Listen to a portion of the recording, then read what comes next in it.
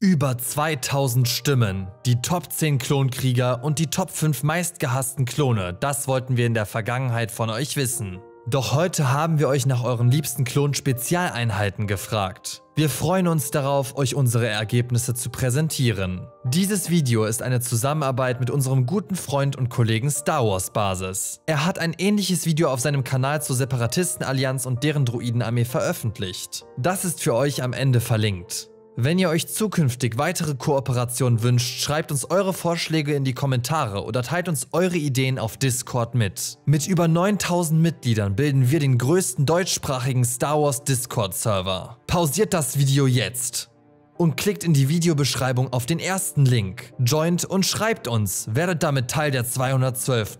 Sonst verpasst ihr was. Auf dem letzten Platz steht eine Kloneinheit, die dieses Jahr erst ihr Debüt feiern durfte. Das experimentelle Clone Squad Clone Force 99 ist eine der, wenn nicht sogar die einzigartigste Kloneinheit. Bestehend aus Wrecker, Crosshair, Hunter, Tech und später dann auch Echo ist dieses Squad durch komplett zufällige Mutationen ihres Gencodes von Natur aus veranlagt, unterschiedliche Aufgabenbereiche zu meistern. Seinen Namen hat das Squad vom in Staffel 7 bereits verstorbenen Klon 99, der ebenfalls missgebildet gegründet war. 99 gehörte der Putztruppe Caminos an. Diese einzigartigen Klone zeigen, dass Vielfalt ein Vorteil sein kann, auch wenn man von den regulären Vorgaben abweicht. Jeder von ihnen ist Teil des Puzzles, das in seiner Gesamtheit, wenn einmal vollständig, dazu in der Lage ist, die kniffligsten Geheimeinsätze zu leiten.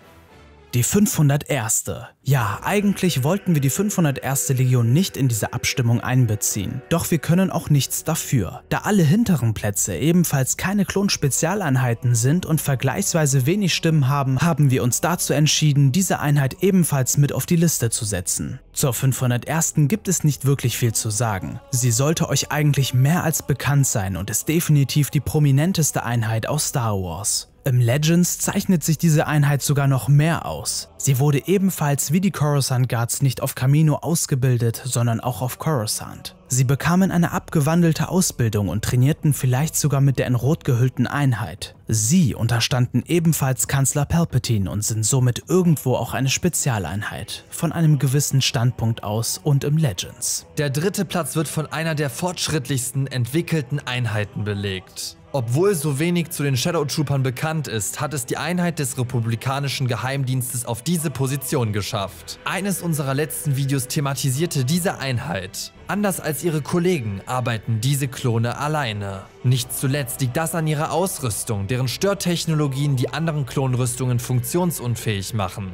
Vor diesen Einheiten muss man sich definitiv in Acht nehmen. Es gibt nur wenig bekannte Einsätze dieser Truppe. Wenn ihr mehr über ihren wichtigsten bekannten Auftritt erfahren wollt, haben wir ebenfalls ein Video für euch am Ende verlinkt. Könnt ihr euch sehr gerne anschauen. Auf dem zweiten Platz landet eine Spezialeinheit, die sich in Squads aus jeweils vier Leuten bewegt. Sie wachsen schon im Kindesalter miteinander auf und kennen sich in- und auswendig. Auch wenn die Armee aus genetisch identischen Replikaten besteht, so sind die einzelnen Charaktere so verschieden wie noch nie. In diesen Squads ist es wichtig, seine Brüder genau zu kennen. Auffallend durch ihre Katar-Rüstungen dienen in Geheimoperationen und leisten einen hervorragenden Job ab. Die bekannteste Truppe sehen wir wohl in Star Wars The Clone Wars. Das Delta Squad hat vor allem im Legends eine trächtige Geschichte. Angeführt von RC-1138 ist dieses Clone Squad in Kombination mit ihrem DC-17 Blaster-System, das sich beliebig in ein Scharfschützengewehr oder Granatwerfer umbauen lässt, eine Bedrohung für jegliche Feinde der Republik. Dicht gefolgt vom Omega Squad wurde diese Kloneinheit vor allem am Anfang der Klonkriege eingesetzt. Fehleingesetzt ist hier besonders zu unterstreichen.